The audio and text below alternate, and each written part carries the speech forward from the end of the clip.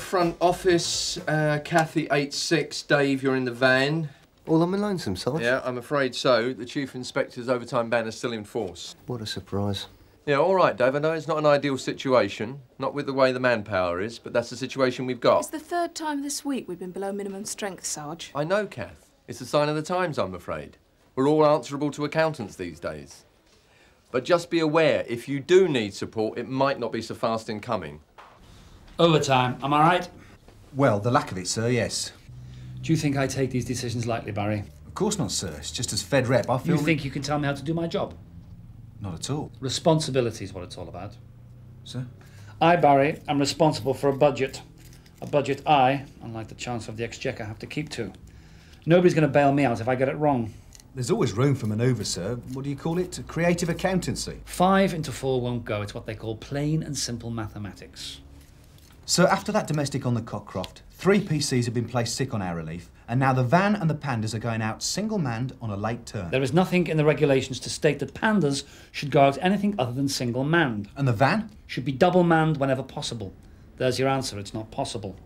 It just doesn't make sense, sir. Surely it's a false economy. I'm not exactly happy with the situation myself. And what able-bodied men we do have are either uptown on Central Reserve, on aid, or on courses. I appreciate the problem, Barry, but there's no overtime, no manning up, no spare cash. And how long's it going to go on for? Until one of our blokes gets a serious pasting in the street? I mean, what is the cost? An arm? A leg? A life? Don't get dramatic on me. It happens. It happened in my time, too. But at least you could always rely on the blokes to back you up, sir. With this ban on overtime, we can't even do that. Go and tell it to the politicians, Barry. Like you, I can only work with what's being given to me. If I could do anything, I would. But I can't. No more moaning, just get on with it. But before you go, Donna wants a word with you. Some of you may have heard that Michael Kennedy was sent down for five years this morning for stabbing this gentleman, Terry Mullen. Now, Mullen's got previous for wounding, affray, and petty theft. But this character, Michael Kennedy's brother Joe, is in a different league. Most of you will already know him. Joe's a regular resident of the custody suite. They even send his council tax demands here. ABH, GBH, demanding money with menaces, you name it, he's done it. But what he hasn't done yet is kill a copper. But that's his professed ambition. Oh, yeah. Don't take it lightly, he's capable of it. Now, Mullen's got a nice scar down his face where Kennedy put a bottle into it. With Michael inside, the fear is Joe might want to do the same again. And it's our job to get between them. Don't know why we just don't let him get on with it. I'll tell you why, Dave, because the last time these two got together, it was in a kid's play park, and a concerned parent lost his thumb because he requested that they go somewhere else and kill each other. Everyone gets to operate with me, you know. And I'm ever so grateful, Tone. If I didn't want you, you wouldn't be here. I know, you told me last time. Just saying, it's a compliment. They like they want to play.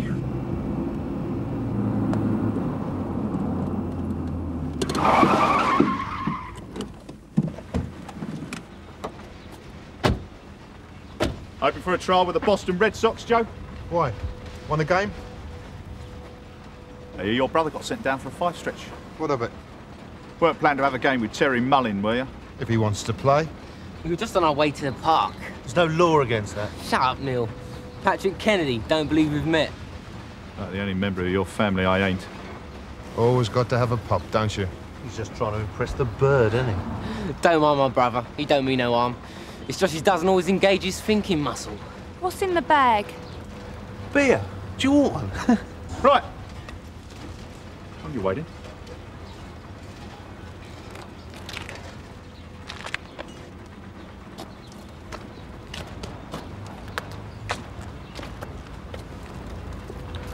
We're wrapped a cricket. It's ridiculous. Yeah, tell me about it. We haven't even got enough blokes for a five-a-side football team. Where's Steve? Central London Reserve. Mike? Annual leave. Reg? Who cares? Sarge? Barry, how'd you get on? Still no manning up? Hard man to deal with. He's a governor. I get to be a governor by making concessions. That's a bit cynical for this time of day. We're supposed to be professional, Sarge. Half a dozen men to protect this division. Where's the professionalism in that? Oh, all I am is a mouth and trousers merchant for the relief. I go up there, I give it all out, and what happens? Nothing. What am I on, Sarge? 8-5. don't know why I don't just jack it all in. The troops are happy with you. Yeah? Well, I'm not happy with myself. We're going through that patch, are we? What do you mean, Sarge? Fed up with the job? Don't know what we're doing? Losing our edge? Does it show? I have the luxury of experience. Now, you're a good team player, Barry, but you're underselling yourself. How do you mean, Sarge? Well, passing up courses, not even wanting to consider a step up the ladder. Now, what's this all about? Oh, perhaps I've seen what's at the top of the ladder. Perhaps I don't like it. All the politics, all the power mongering, all the budget. None of it makes any sense when you're out there on the streets. That's why the job needs blokes like you at the top. You should have chevrons on your shoulder by now. How long you been in? Twelve years. Precisely. And you're a good copper. Yeah? Yeah. Think about it. Come on! Yes! Yeah, Go what on. a bunch of slag bags. The youngest one seems all right. You may seem it, but he's a Kennedy. The only Kennedy that was ever any good was shot. How long are we going to sit here then? Bored already? Well, they're not going to do anything while we're playing spectators. Or are you waiting for the girls in rah-rah skirts? Come on in. I'll take you to visit another slag bag. Terence J. Mullin.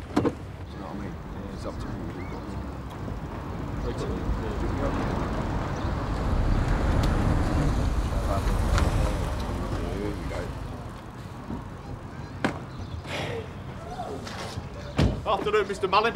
Afternoon, PC Stamp. You come to join us for a drink? Celebration, is it? Every day's a celebration. Never took you for a philosopher, Terry.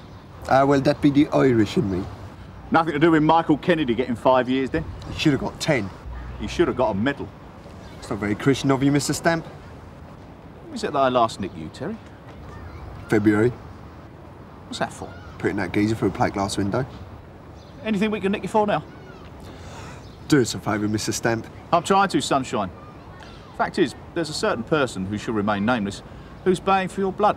Thought you might jump at the chance of a nice, quiet room. Ensuite toilet, free food, good company. What more could you ask? Listen, I ain't lying low for anybody, especially not a Kennedy. Fair enough. Don't say we didn't offer. He's a big bloke, that Joe Kennedy. Yeah, well, your warning to come just a little bit too late. You seen the state of my motor? Should have got it done professional. Have you reported this? What? To your lot? You must be joking. Do you know where that was done? Do we look psychic? Right outside the courts. You've got to admit, though, Terry, probably doubled the motor's value. Can any units report a burglary, Dunford Avenue? Any offers on a bail inquiry, Pliny Road? Pliny Road is up for grabs, your last chance, Pliny Road. Anyone? I'll take Dunford Road, Sarge. Thank you, Dave. There is life after death. Any takers, Pliny Road? Anything outstanding, Skip? I only asked. Baz.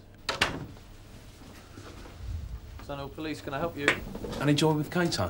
What do you think? What, nothing on the table then, no? A pile of pencils, that was it. Oh well, sure you did your best. What's that supposed to mean?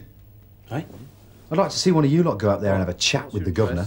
It wasn't a criticism, Barry. Basil Fizzy. Look, nobody expected a result. What? Cato's got a reputation, hasn't he? what we can do. Cheers, thanks for the vote of confidence. And anyway, you know what they Any say. unit deal, No, what do they 72, say? 72, Never volunteer. Owner reckons there's a terrier type dog in distress in her front garden. Any animal lovers out there? I'll take it, Skip. Can you deal with this bail inquiry as well? Whatever you got. A headache.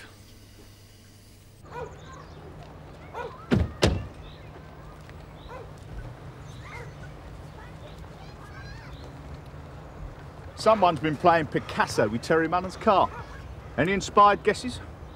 Don't know what you're talking about. Terrio? Don't give me that. Five minutes after your brother's been sent down, Mullin comes out of court and his priceless Ford Cortina's got more graffiti on it than the jets in the old Red Lion. Yeah. I'm warning you. Just steer clear of Terry Mullin. Why? What? Why? I mean, what's Terry Mullen to you? You've been drinking. I have, yeah, I've been drinking. What of it? You're underage. Why don't you arrest me then? Leave it out, Pat. What? It's a drink, you know, he can't handle it. I could handle him now. I could take him on. Leave it out! Take the prat home before we have to nick him. We're gonna see him, Mullen. We're gonna sort him out once and for all. You and me need to have a little talk. Get off of me! Let go of him! All right, calm He's down. done nothing! Shut it! Come on in! Listen, Come leave on! it! He winds me Leave out! it out! You've got a future! He's laughing! He's laughing! right, you are Nick. You can't nick him. You keep your mouth shut or we nick you and all. Listen, it's only the drink. It Come always on. is. What am I nicked for? D and D. Now shut up. That's your caution. Don't do anything stupid and don't tell Dad. Sit there, sober up, you'll be out of here, all right? Could you tell Sergeant Maitland I'll be in the canteen, fill him up my IRB if he wants me? Can any Sierra Oscar unit deal? 5353 Draco Road, Central Station hold-up alarm. Any units? Sierra 1? Uh, yeah, we're off watch at the moment, Sarge. We got a body in. Right, well, we better show you off watch. Two sugars in mind. Tony? Sarge? Someone's got a strop on. Where's my chocky bar? If I didn't know better, I'd say you only nicked him so you could come in and have a drink. Can anyone else take this Central Station hold-up alarm? 8-5, we'll take a look, Sarge. It's a burger bar, innit? Yeah, Barry. Cheers. Nice to know someone's working. Some of us haven't stopped, Sarge. Point taken.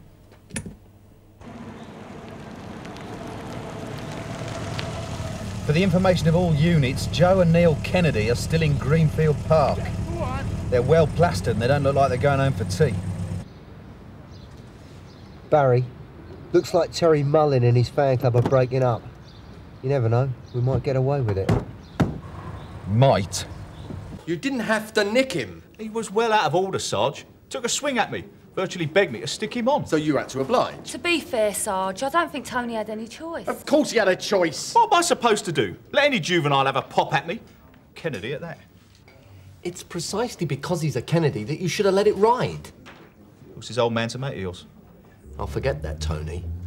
I'm just hoping that Joe Kennedy doesn't find this as an excuse to stick a knife into Terry Mullen. Sarge, there's an old guy at the front desk asking for you.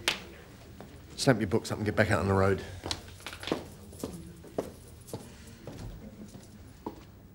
Don't give me any of your excuses. I don't If want you your take a excuses. seat, sir, somebody be through. I don't want just anybody. I want Bob Cryer. Fine, if Have he's in you the kids are station, wrong, we'll not the Tom! Tom, what can I do for you? What's this about my Patrick being arrested? Uh, calm down. There's nothing to worry about. Look, my Patrick is the only lad I have that I don't have to worry about. The boy has gone places, but some of you fellas just can't leave us Can alone. we just sit down in here for a minute, yeah?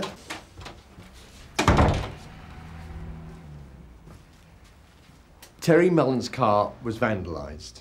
One of our blokes questioned Joe. Patrick got out of order, that's it. Modern.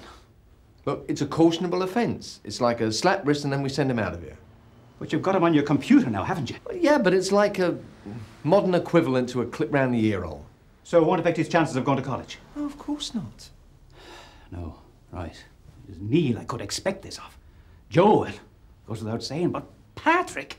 Kids. huh? If we knew what we were in for. How's your wife?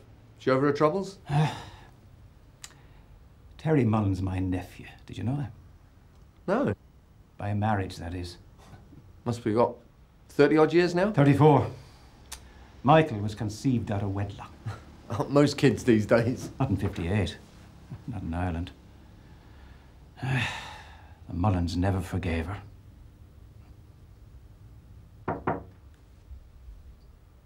Yeah. Sarge. Won't be a moment. He won't accept the caution. What? He says he wants to make a statement. For what? The criminal damage to Mullen's motor. All Sierra Oscar units. Reports of a disturbance. Portland Road on the Lark Rise estate. Believe several males fighting. Yeah, Sierra Oscar 2. Thank you, Sierra Oscar 2. 8-6 will run, Sarge. Cheers, Kath. Can you show 8-5, Sarge? You're on, Barry. There's nothing to worry about, Tom. It's only a statement. Okay. Yeah, come on, let's have you, Patrick. Thanks. Well, if you two like to sit over there on the far side of the table.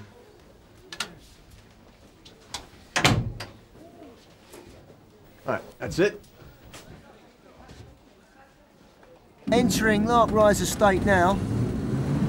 And I think it's Mullen's car reversing towards me at speed. Oh no. Sierra Oscar 2, off Portland Road, junction of Twycross. Looks like Terry Mullins run over one of the Kennedys. Vehicle making off west in the direction of Maycroft. I think three IC1 males on board, 20s. Right, Patrick. Now you're absolutely certain you want to make a statement. Yeah. You don't want to solicit a present. That's fine. Patrick, please don't say anything you don't have to. But I want to.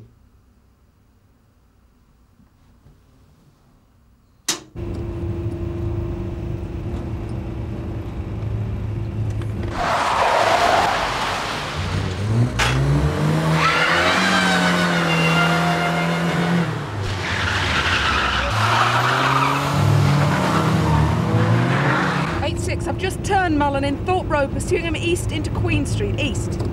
Gonna get MP to put the link in, Kath. I poured the paint over Terry Mullen's car. You did? Yeah. And where was this? Outside the court. Michael had just been sentenced. I felt responsible and I wanted to do something about it. So where'd you get the paint? Oh, I had a couple of cans of spray paint and I nicked a can of emulsion out of the back of my dad's van. When was this? Before the sentencing. Well, it was a foregone conclusion, wasn't it? Patrick, please, there's no need. But there is. He's doing a steady 55. He's going to dump the lights right into Queen Street.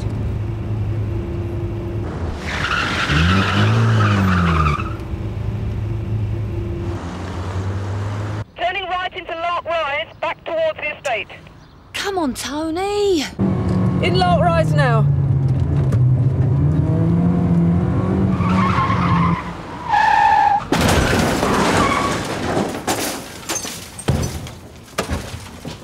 Two IC1s. Casual dress disappeared onto the estate. Be with you any minute, Kath. Right, go Get on. off me!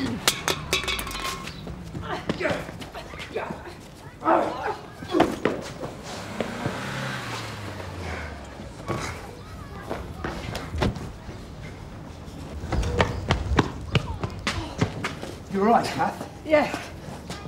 Up the stairs, go on. I'll kill him if I get him. I'll kill You're him. all right, mate, you won't die yet. He tried to kill us. We just stood in the road and he tried to kill us. Yeah, I know you said. What's he going to do? Nothing. We're on it, all right? I can't feel my legs. Just Dave, sit still. we're chasing Mullen through the north half of the estate. He might break cover at your end. Yeah, okay, I'll keep an eye out. Oi! Barry! Barry! You got Joe Kennedy in there as well. I'm going to go after him in case he gets to Mullen first. Bloke over there been run over. Where are you taking him, St Hughes? Right, don't deal with him too quick. We might need you in a minute. I was there when Mullen got stabbed. I'd been drinking. Terry was being gobby, going on and on. The Kennedys are some kind of subspecies. The Kennedys ain't good enough. Well, we've all got jobs. Dad's got his own firm. What have Mullins got? Nothing that ain't come from social services. Don't even know why I had Michael's knife on me. He just gave it me to look after. So I took it out and stuck it in him. Who? Terry Mullen. He was too tanked up to know much about it. He just remembers having a go at Michael. Michael's knife. Michael's record. Michael confessed. Well, who was going to argue with that? Not you lot. You stabbed Terry Mullen, not Michael. Yeah. Patrick was drunk. You heard him yourself. He didn't know what went down. Just some stupid idea he's got into his head. It's not some stupid idea. You knew all about it, everything. My dad wants me to go to college. Nothing's going to get in the way of that. So for my sake, Michael took the credit. I couldn't stand it. How could I go to college while my brother's serving five years for something he didn't do and I did? You knew about this. For the benefit of the tape, Mr. Kennedy Sr. nodded his head. But why stab Mullin? Doesn't make sense. There must be more to it than that. I'm a Kennedy.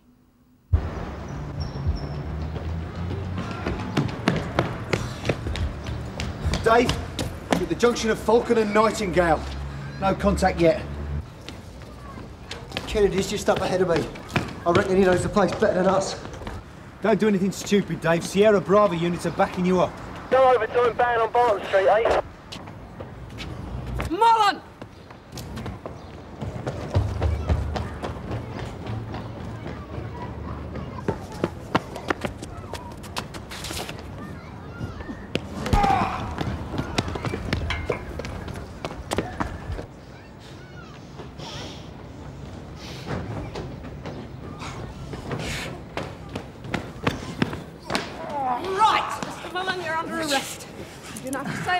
Say anything unless you wish to do so, but anything you say may be given in evidence. Do you understand? Listen, I was going to get it done and I had to do something about it. Oi!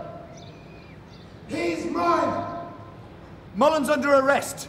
Unless you want to join him, you better put the bat down. You've got a stick. Why don't you use it? You've got a brain, why don't you use that? Put the bat down. Hey, you nicked me a couple of months ago. The bat down. Now! Come and get it. Now, you come and get him. Come on, Joe, what are you waiting for? You've got the bat, you're the hard man. Come on!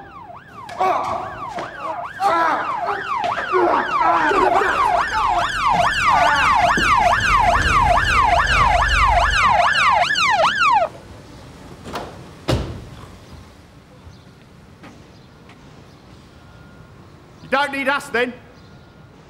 Come on, Tom, let's be having you out of here. So what'll happen to him? Oh, that's down to the CPS. You and Michael could be facing charges. Averting the course of justice. And why did he do it? You were the first copper ever to nick Joe. He done some fella over, and you asked me the same thing then. Joe's a different kettle of fish, and that was over 16 years ago.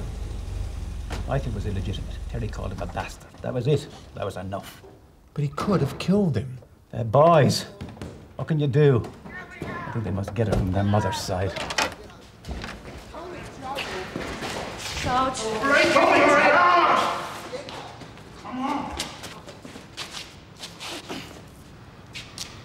Hello, Dad. Barry, come in. Sit down. Thank you, Marion. Help yourself. No, thank you, sir. Have you seen the FME? Oh, I'm fine, sir. Could have been nasty. Yes, sir. You'll be pleased to know I'm lifting the overtime ban.